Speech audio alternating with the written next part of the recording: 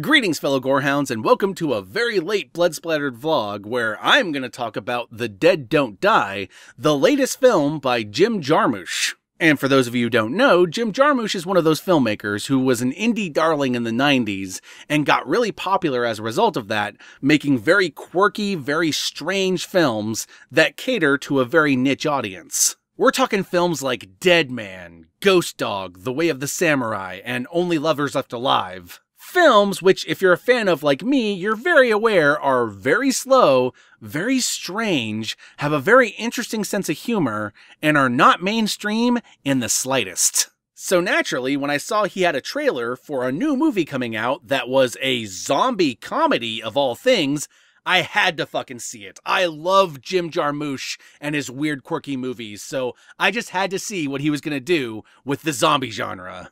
And when the movie finally came out, I didn't get a chance to see it because I was so fucking busy, so I started reading what other people were saying, and, uh, naturally, it being a Jim Jarmusch movie, it was very polarizing, in particular among horror fans, and for reasons I completely understand.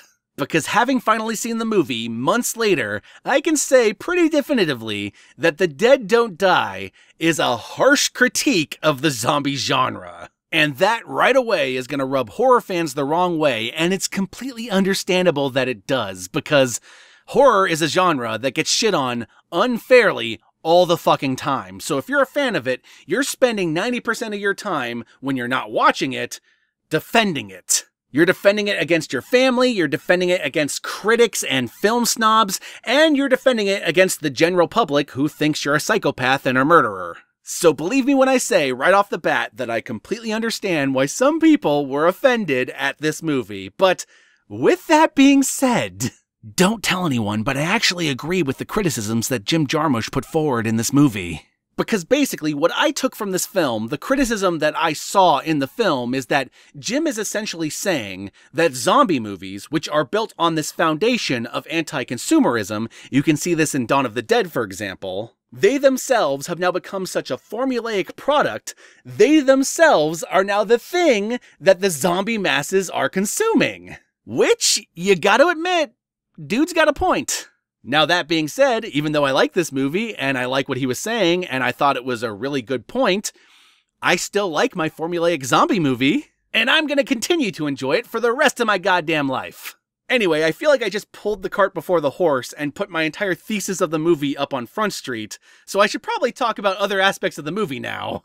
Because even if you disagree with Jim or you don't give a shit what he's trying to say, it's still a very entertaining and very funny zombie comedy movie. If a bit slow, but that's true of all of his movies, so you should just know that going in. But yeah, this is a movie with a kick-ass ensemble cast. You have Bill Murray, you have Adam Driver, you have Steve Buscemi, Danny Glover. God damn, it's even got Larry Fessenden. And it's filled with a lot of classic Bill Murray dry humor all throughout, and not just from Bill Murray, from everyone. So while it's not as good or as fast paced as Shaun of the Dead or Zombieland, I still enjoyed the fuck out of myself. It's a movie that got me to simultaneously laugh my ass off while also thinking critically about horror movies, which is what I normally love to do. Just in general? Hmm? I don't know what to tell you. So yeah, if you're a Jim Jarmusch fan, this movie is a must see. But if you're not a Jim Jarmusch fan, if you're just a horror movie fan, then you should go in cautiously. Cause his movies are an acquired taste, and if you don't have that taste, it's gonna make you throw up. Not literally, I meant metaphorically. This is not a vomit gore film, for the record. God damn, now I'm talking about vomit gore films. I should probably move on to the spoilers soon.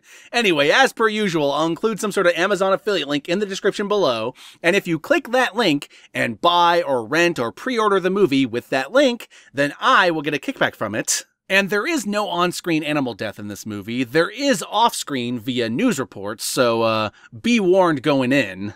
And with that said, let us move on to the spoilers. Anyway, the basic premise of The Dead Don't Die is you have this small town, and we're following this small town sheriff and his partner as they go around town trying to deal with a zombie apocalypse that's upon the town. But the plot in this instance isn't what's important in the movie because the plot is intentionally pointless. Like there are whole characters we're introduced to, like the kids that are watching from inside the correctional facility, who we never actually see what happens to them in the end because it's emphasizing that pointlessness. We don't get to see because what the fuck is the point? What happens to everyone else in this movie? Duh. And throughout the movie, there's a lot of meta references to the fact that we're in a movie. And I'm not talking like Scream, where they talk about other movies within the movie. I'm talking about legit scenes in which Bill Murray and Adam Driver criticize the script of the movie they're in. And this is kind of genius because it makes every flaw in the movie part of the point. And I know that for some people that's going to feel like a cop out, but for me, that was just fucking hilarious. But again, your mileage may vary with that. But perhaps my favorite meta joke in the entire movie is that every time the song The Dead Don't Die, which is the theme song to the movie, comes onto the radio, they call attention to the fact that it's the theme song and the movie will briefly turn into an ad for the song. And I love this because it's kind of like a criticism of things like The Walking Dead, where you'll have characters come across things that are only there because someone paid for it to be there and is trying to sell it to you, even though it's a zombie apocalypse scenario. So there shouldn't be new products for you to see. So yeah, I feel like I got a lot of what this movie was trying to say. There's probably elements of it that I didn't get, and I look forward to reading uh, interviews with Jarmusch so I can get all of his thoughts on the movie. And I also look forward to there being a commentary eventually so that I can get more in-depth thoughts of what the movie's supposed to be about. But I feel like I have a basic idea of what's going on in this movie, and I um, I don't know. I just enjoyed figuring out this movie.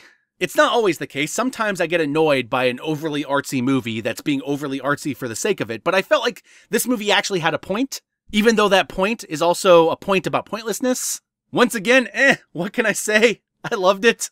Anyway, I'm not going to rattle on too much more about this movie because I feel like I've kind of said everything I want to say about it, but there is one thing I want to highlight, and that's my favorite scene in the entire goddamn movie. Because you see, there's a character in this movie that intentionally does not fit with the rest of the cast, and that's Tilda Swinton's character, which is this Irish morgue attendant who's also a samurai and worships the Buddha. There's like a mixing and matching of cultures in her, and it's very weird and very strange. And then all is explained by the end of the movie in a scene in which she meets them in the graveyard because she says early on, meet me in the graveyard. So Bill Murray and Adam Driver go to meet her in the graveyard. And then they have an argument over this scene that's happening currently not being in the script and going, what the fuck is happening? And that's when an alien spaceship comes down. And it turns out Tilda Swinton was an alien who was observing humanity in its final days which is why she was such a mixing and matching of cultures and acted so weird.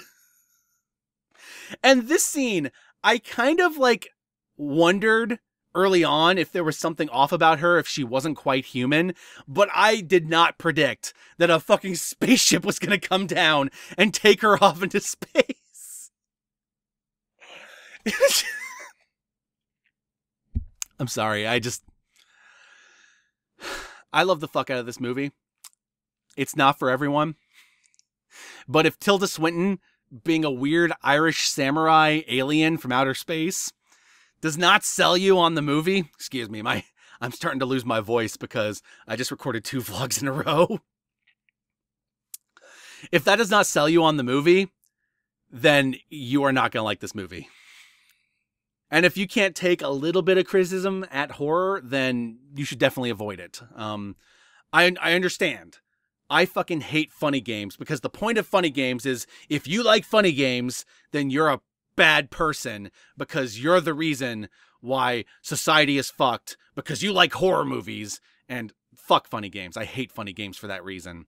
But this movie and its criticism, I felt like it was very apt. It's applying the same type of social criticism that zombie movies do onto the zombie movie genre itself. And I felt like that was appropriate.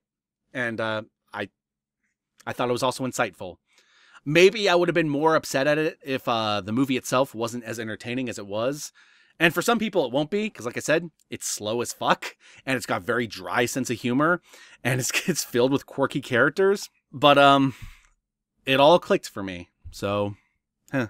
so if you don't like it, that's good on you. If you disagree with the criticism, that's good on you too. And if for whatever reason this movie just pissed you the fuck off, I get it. But if you were at all on the fence with this movie and you weren't sure if you wanted to see it, hopefully this vlog and everything I've detailed therein will help you decide whether or not you want to see it. Anyway, my fellow Gorehounds, as per usual, be sure to like, comment, subscribe, and don't forget to ring that notification bell so that you're notified of my videos immediately upon their upload. And be sure to check out my Patreon, which I'll also link in the description below. And if you decide to go the Patreon route, know that even a dollar a month can go a long way. And with all that said, I'm gonna go rest my fucking voice because Jesus, it's starting to die on me. And I need it for voiceovers. I need it for voiceovers butt sex. All right, I'm, I'm, I'm gonna fucking close this vlog because now I'm just fucking around. Peace out, my fellow gorehounds, and I'll catch y'all later.